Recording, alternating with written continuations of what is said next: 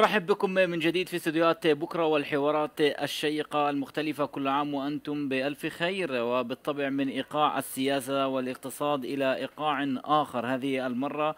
نرحب بعازف الإيقاع عنان عواد مرحبا بك. أهلا وسهلا فيك وبجميع المستمعين وكل عام وأنتم بألف خير. وكل عام وأنتم بألف خير أيضا للطلاب. لو تعرفنا قليلا عن الطلاب بالاسم. أيوه نات إيه طلاب الحلوين باسل مشرقي. أعطيه كمان يلا، نسمع قول يا باسل. الاسم. بس المشرقي بس لكم سنة بتعزف على الإيقاع؟ ثلاث أربع سنين. أربع سنين. وطبعا الشاب؟ بسيم حلاق يا هلا فيك. أي سنة؟ صار لي ثلاث أربع سنين. أربع سنين. أربع. إيه معالي انام بي إيه صار لي سنة. سنة. طبعا آه، يعني دائما ما نتحدث عن الإيقاع الإيقاع يعني من أهم يعني آه، المعزوفات وربما يضيف أكثر الحيوية بعض الشيء يعني آه، كم أول شيء يا ريت تقيمين الطلاب. أكيد. اولا إيه بالنسبة لموضوع الإيقاع طبعا بدون الإيقاع ما في حياة ووقع القلب هو أول ما ينبض يعني في الإنسان وكذلك بالموسيقى يعني. طبعا. فممكن إيه نستخرج أياتها نغمه بتعجبنا وأياتها إيه لحن وأياتها موسيقى ولكن بدون الإيقاع ما في حياة والإيقاع هو الحياة. وطبعا هالطلاب هن طلابي أنا بعلم إيقاع بعدة محلات بيافت الناصري بعيلبون وبشفامر كمان.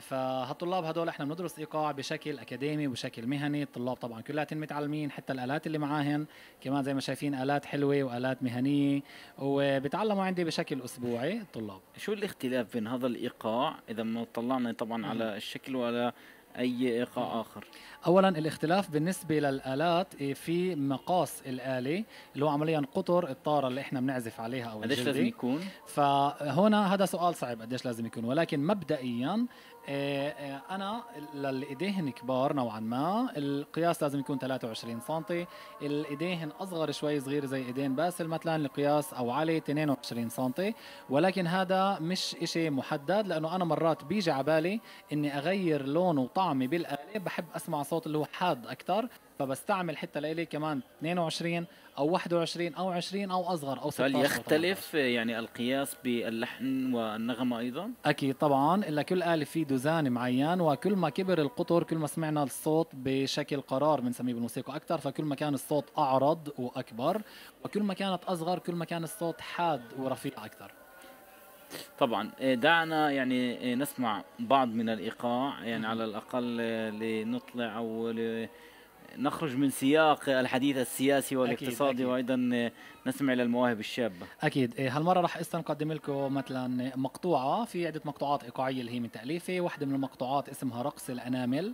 فرح نقدم لكم مقطع بسيط منها ومنباشر الحديث. وإذا بتحبوا كمان عندنا كمان عدة مقاطع اللي نقدمها. يلا. ممكن؟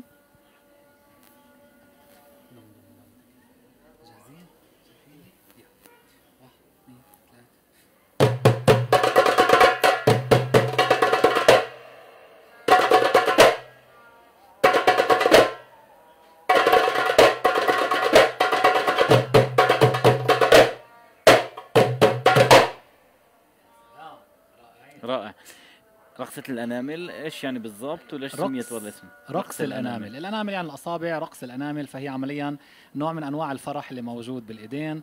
وطبعا المقطوعات اللي أنا مألفها فيها عدة مستويات لطلاب مبتدئين لطلاب متقدمين وطلاب متقدمين أكثر وأكثر ففي عنا عدة أنواع من الموسيقى اللي بنعزفها عدة عدة آه، يعني في شيء اللي بنسميه التاتش تبع العازف. وهذا يعني بيكتسبه بعد سنين فبيختلف المقطوعة حسب المهنية تبعت الطالب وحسب عدد السنين اللي هو يتعلمها.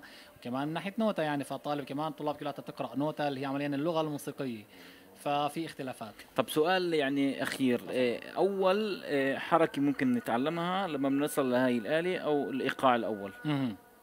جميل جدا. الإيقاع الأول بالمناسبة بهاي يعني بهذا السؤال راح راح أنوه لشغلة صغيرة إنه الإيقاع يعني ممكن يكون عبارة عن مش مجرد عزف على آلة ممكن يكون عزف كتير أبسط عن هيك. زي ما حكيت إيقاع القلب اللي هو عمليا انتظام ضربات معينة بصوت معين وهذا التكرار بهذا الصوت بيعمل إيقاع حتى حنفية بتنقط مي. بهاي الوتيرة تمام؟ وقع الحصان. آه، إيقاع الفصول. ففي عندي إشي اللي هو بعيد على حاله بيستمر بنفس القالب.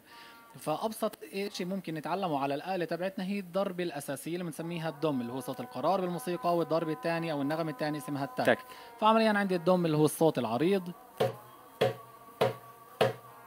عندي التك اللي هو الصوت الحاد والرفيع.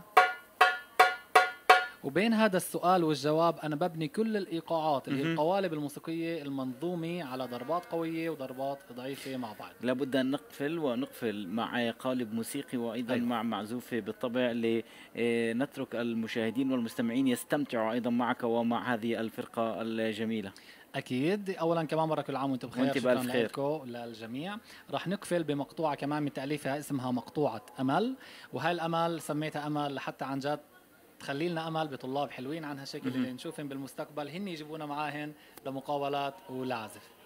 طبعا آه، الجمهور العزيز آه، نترككم مع هذه الوصلة. الشيخة استمتعوا واستمتعوا أكثر فأكثر. عنان.